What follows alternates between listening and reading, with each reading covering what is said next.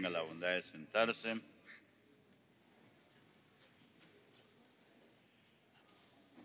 Bien, pidamos al Espíritu Santo que nos ilumine para poder sacar algún mensaje que nos vaya a ayudar al crecimiento espiritual de nuestras vidas durante esta semana. Hoy se nos habla en las lecturas lo difícil que es ir al reino de Dios. Y no lo difícil, sino el convencimiento de cada persona para ir trabajando y meditando para lograr entrar en el reino de Dios. Por eso Jesús lo vemos en el Evangelio hoy, que continúa su viaje visitando a todas las personas en su vida pública, tuvo una preocupación permanente de visitar y pasar por los pueblos y ciudades y aprovechaba para enseñar y para curar, para dar fe, esperanza y amor. Entonces cuando él iba predicando y animando a las personas, sobre todo aquellos que tenían necesidades, pues surgían muchos interrogantes, muchas personas cuando hablaban del reino de Dios, de la alegría de estar con el Señor, de la salvación. Pues muchos creyentes y no creyentes comenzaron a cuestionar su vida. Y por eso en, en distintas creencias muchos se acercaron a Jesús para preguntarle, yo me voy a salvar, yo me voy a salvar. Y es la pregunta que también se hicieron los primeros cristianos que seguían haciéndose todos y creyentes, y nosotros también nos vamos a salvar. Y también esa pregunta de pronto nos la hacemos nosotros. ¿Será que nosotros nos vamos a salvar? Y la pregunta es el examen de nuestra vida y que la respuesta es, eso depende de cada uno de nosotros. El Señor nos pone todo en su camino, en su agenda de viaje, y por eso va a visitar y les presenta el reino de Dios. Pero como a veces nosotros no ponemos atención a su palabra, a su mensaje y a ese caminar de la vida, por eso nos hacemos tantas preguntas. ¿Y será que nosotros nos vamos a salvar? Jesús no va a responder a la pregunta, ni tampoco al interlocutor, sino tú sabes cómo hacerlo.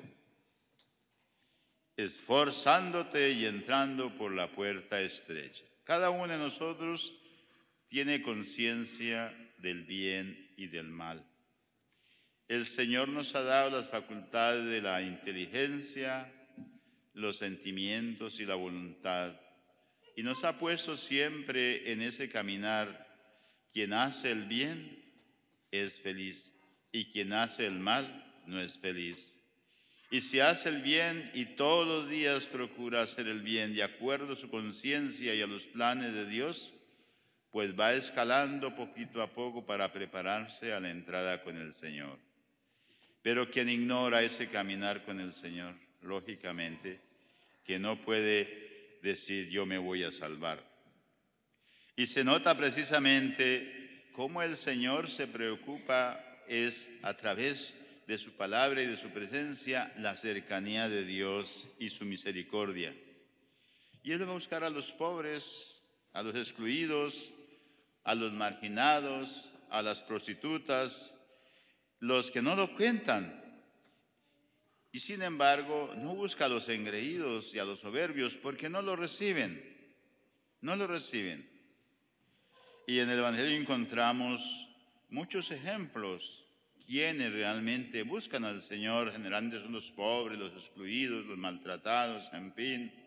Aquellos que son ajusticiados por los jueces de la conciencia, de los que se creen mejores. Y sin embargo la pregunta es, ¿y yo me voy a salvar? Por eso el Señor nos pide estar siempre agradecidos todos los días y en cada instante de nuestra vida, todos los días.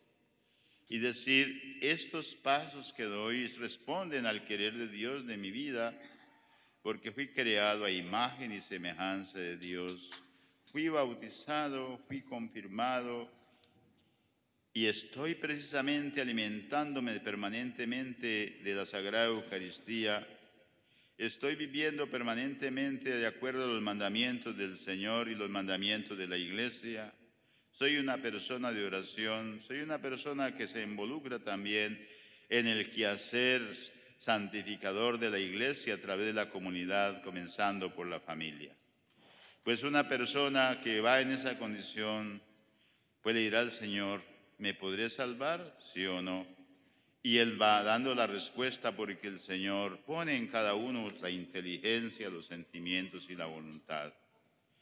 Y cuando pensamos siempre tenemos que reflexionar porque hoy nosotros como que nos cuesta pensar estamos totalmente absorbidos a veces por los medios, a veces las noticias falsas, todo aquello que el mundo nos presenta, la sociedad de consumo, y no hay tiempo para pensar sobre el requerimiento que el Señor me pide para cada día ser mejor, ser feliz y vivir en la gracia de Dios. Y ante la angustia del ser humano cuando se da cuenta de que ha perdido la vida, dice, ¿seré que me voy a salvar? Ahí está precisamente la respuesta del Señor. Mirad, hay últimos que serán primeros y los primeros que serán últimos. También nos confiamos muchas veces, dice yo soy bautizado, soy confirmado, ¿para qué más? Ya es suficiente, ¿no? Hay que trabajar todos los días en nuestra vida diaria, porque desde el día que nací nací para este mundo, pero a la vez también nací para la vida eterna en la fe en el Señor. Por eso, en la línea del Evangelio nos coloca la salvación. Es un esfuerzo personal. Es un esfuerzo personal. No es un título adquirido, ni la cercanía o ser amigo de Jesús. No, es un trabajo y actuar con Él. Por eso el Señor nos pone su pedagogía. Yo soy el camino, la verdad y la vida. ¿Qué quiere decir? Trabajar en esa dimensión. Y cuando yo el camino es mirar a Jesús, la experiencia misionera de Jesús, la vida de Jesús, el catequista que es Jesús y trabajar en esa dimensión. Entonces, camino, la verdad y la vida, porque realmente hoy nos absorbe, es un mundo de mentira, la verdad, la falsedad todo aquello que trata de engañar y involucrar y a veces, en fin, quedamos ahí totalmente eh, esclavos de cosas, haciéndonos perder la garantía de trabajar por el reino de Dios. La salvación no está asociada a privilegios de religión, ni de raza, ni de grupos. Así nos manifiesta, esforzados por entrar por la puerta estrecha. Algo muy importante que nos cuesta a nosotros es cultivar las virtudes de nuestra vida para ir creciendo en esa dimensión de los hijos de Dios. Y una de las dimensiones de las realmente, de esas virtudes grandes que tenemos que trabajar todos los días para ir escalando poquito a poco y que, y que requiere un camino estrecho es, por ejemplo, la humildad. ¿Cuánto nos cuesta ser humildes? La sencillez ¿Cuánto nos cuesta ser sencillos? ¿Cuánto nos cuesta ser compasivos? Nos cuesta. Misericordiosos. ¿Cuánto nos cuesta perdonar? ¿Cuánto nos cuesta ser generosos? Desprendernos de algo porque para caminar en el reino de Dios todos los días tenemos que dejar algo, desprendernos de algo, en fin comenzando por el proceso de nuestra vida biológica. Todos los días tenemos que dejar algo. El joven prepararse para ser adulto y adulto para prepararse a una adultez más y más y más. Y el anciano también para ir desprendiéndonos también de aquella vida que no se queda aquí. Pero a veces nos apegamos a eso, nos apegamos y no despejamos para realmente cultivar las virtudes, que es algo muy importante. Entonces, las escaramuzas del mundo de hoy son así, quitarnos esa oportunidad de ser felices, porque cuando uno vive las virtudes, el hombre comienza a experimentar la auténtica felicidad en sí mismo como persona, como hijo de Dios, que está en el interior de cada persona, el interior de cada persona.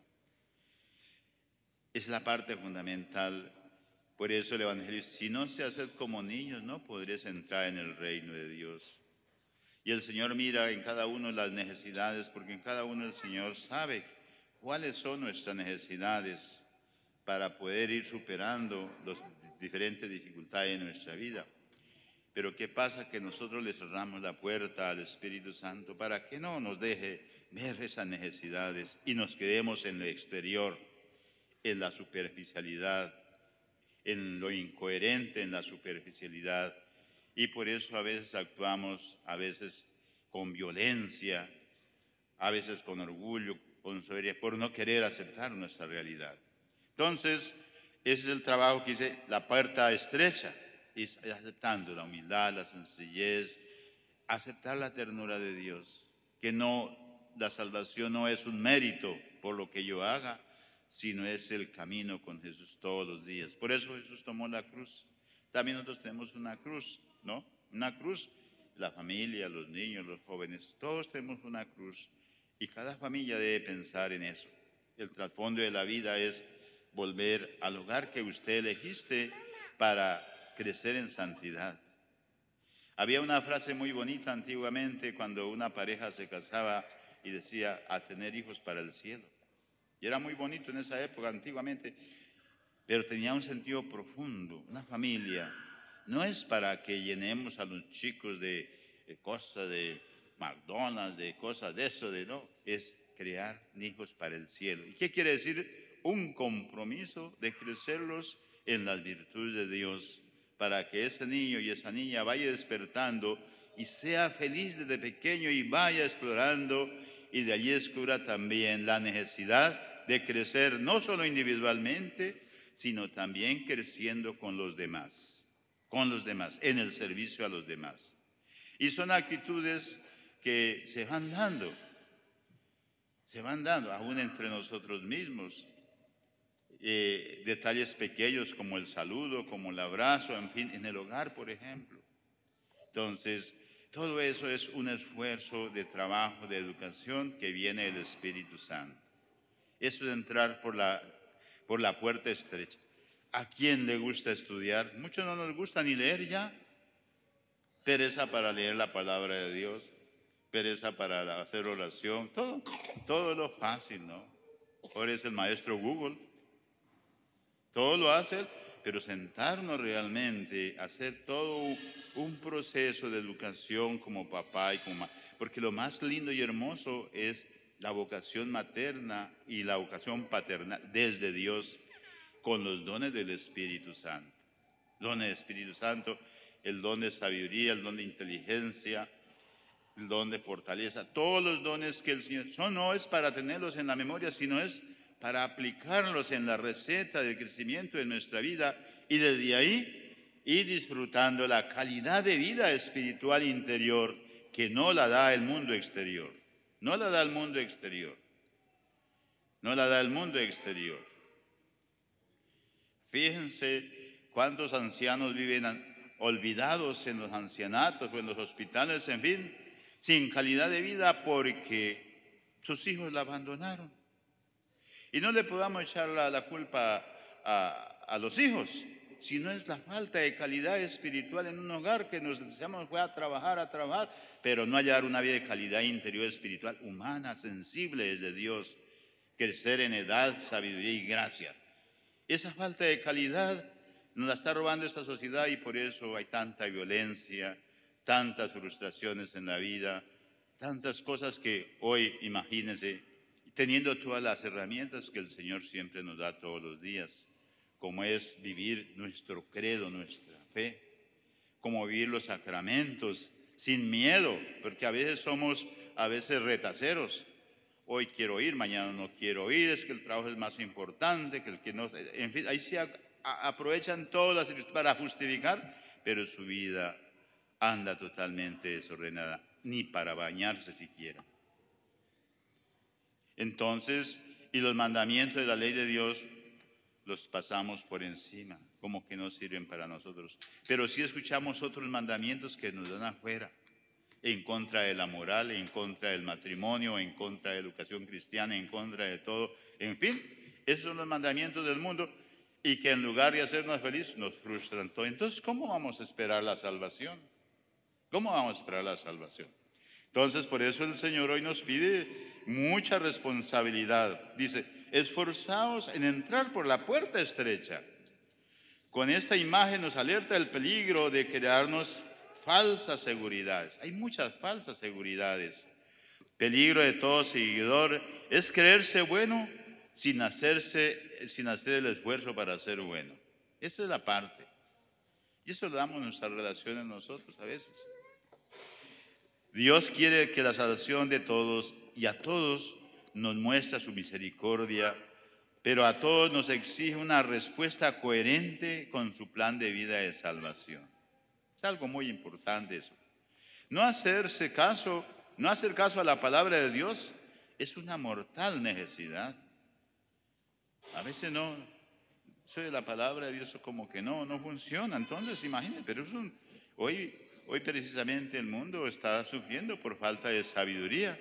Mire cómo está el mundo, estamos expuestos como a una guerra mundial, en fin, por falta de sabiduría, por no escuchar la palabra de Dios. Ya hablamos de derechos humanos, ya hablamos de, pero en el corazón de cada persona somos más violentos cuando hablamos de injusticias, somos más violentos cuando pedimos justicia y no vivimos la justicia interiormente, ni siquiera con la familia, ni siquiera saludamos. ¿Cómo nos atrevemos a hablar de la verdad cuando yo mi vida es falsa por dentro? ¿Cómo nos atrevemos a hablar de justicia cuando soy injusto conmigo mismo y también con la misma familia o con los miembros? ¿Cómo vamos a hablar de amor si en el mundo hay odio, hay todo eso? El camino por el cual todos transitan es ancho, pero no siempre es el camino que propone Jesús. Es cierto. Hay muchas, dice, hay oportunidades, camino es ancho y de eso y nos dejamos allá, ¿no? Domesticar por todo lo que anda. La novedad, la propaganda, pero la exclusividad y la esencia de crecer como Dios quiere está muy lejos de nosotros. Y sin embargo, en las dificultades queremos salvarnos. Queremos salvar. Yo quisiera que mi matrimonio fuera así, pero no hago el esfuerzo. Yo quisiera que mis hijos fueran así, pero no he hecho el trabajo. Me falta el trabajo. Por eso a buena hora vamos a comenzar la catequesis. Bendito sea Dios. La formación de los jóvenes, todo eso. los misterios que hay en las comunidades. Eso no es simplemente para como un remiendo que se coloca ahí para decir que estamos haciendo algo. No, es la oportunidad para ir construyendo el reino de Dios a través de todos nosotros. No podemos perder la calma. No podemos perder la oportunidad también de ir nosotros mirando nuestro destino, porque físicamente nacemos para este mundo y espiritualmente comienza nuestra vida para nacer para la vida eterna que comienza cuando morimos. Pero que sea realmente una muerte llena de vida espiritual, de fraternidad y de gracia. ¿Cuánto nos atormenta a veces las frustraciones cuando vemos a un ser querido que está agonizando y que uno dice, ¿por qué se muere? ¿Por qué no? No, Señor, acepte la realidad también de que nosotros no somos de este mundo y tenemos que, pero hay algo muy sublime y es dar el paso a la vida eterna. Pero realmente ese paso que sea digno, coherente y no sea que se nos cierre la puerta a última hora, ¿no? De verdad, de verdad, no os conozco. Y no es que quiera Dios que, que no entre, sino no hicimos el esfuerzo. No hicimos el esfuerzo. Entonces, ahí está la oportunidad. Por eso el Señor dice, todos los días de nuestra vida es una oportunidad para salvarnos, salvar mi vida, salvar mi familia, salvar a los hijos y salvar la comunidad. Por eso se llama comunidad, común. El plan de Dios es la salvación, es la santificación. ¿Y qué quiere decir el Señor? ¿Por qué nos dice? Él no nos, no nos va a exigir, háganlo, háganlo, no. Él nos propone. Él nos propone porque también respeta nuestra libertad, pero ustedes son responsables de entrar o no entrar. Y no sé qué. Qué bonito que ustedes vengan y comiencen a hacer ese ejercicio bonito ahora que comienza la catequesis y con todo. Aprovechemos estas oportunidades. Y para eso, lógicamente, que la iglesia va experimentando también mucho sacrificio, mucho sacrificio. Por eso la iglesia sufre. Hay mártires. Mire cómo está sufriendo la iglesia de Nicaragua. Todo precisamente por la inconsistencia de la verdad, por el egocentrismo de este mundo olvidándose de Dios. Porque una cosa es la demagogia y otra cosa es la palabra clave que va a salvar a la persona. Eso es, no es simplemente hablar, sino es como Cristo. Tanto amó Dios al mundo que dio su propia vida. También nosotros tenemos que trabajar, no simplemente, ay, no es que aquí, y a veces nos volvemos, eh, ah, que queremos salvar al mundo, pero nosotros no hacemos por salvarlo nuestro, lo personal. Salvemos nuestra familia, salvemos también nuestra comunidad, defendamos a nuestros niños afuera, no para criticarlos ni para... ¿Cómo hacemos que esta comunidad crezca en esa dimensión para Dios y para el cielo y que nadie se pierda? Por eso hemos venido a la Sagrada Eucaristía el símbolo del pan y el vino que se da a toda la comunidad. Y es Cristo que se da, porque un día también tendremos que, con la gracia de Dios, si trabajamos, y nos esforzamos, entrar al reino de Dios el día de nuestra muerte. Porque para allá vamos, nadie se escapa, ¿no? Así no pensamos y pensamos, somos muy ilusos, ¿no? Hay que aprovechar el tiempo, trabajar con mucho gozo, pero hay que trabajar con más esfuerzo para que ninguno de nosotros se pierda. Ninguno de demás se pierda una mamá trabajar con sus hijos para que sus hijos no se pierdan, porque el día del juicio tú no hiciste tu papel de mamá, tú no hiciste el papel de, padre, tú no hiciste el papel bien de catequista, tú no tuviste la oportunidad de salvar y no fuiste, quédate afuera. Y entonces ahí viene el llanto y la desesperación. Pidámosle al Señor en esta Santa Misa para que ojalá aprovechemos los momenticos que nos quedan en la vida para cumplir la voluntad de Dios, vivir nuestro credo los mandamientos de la ley de Dios, los mandamientos, los sacramentos, la vida de oración, los mandamientos de la iglesia y practicarlos con sinceridad, no perder momento para dar al Señor. Por eso dice, el celo de tu casa me devora, el celo de tu casa me devora. Al trabajo, donde sea, Dios siempre presente sus hijos siempre presentes, sus amigos siempre presentes, y que nadie se descuide de amar al otro en nombre de nuestro Señor Jesucristo, no porque sea su amigo, sino porque en Él está ungido la gracia del Espíritu Santo llamado para el cielo. Que así sea.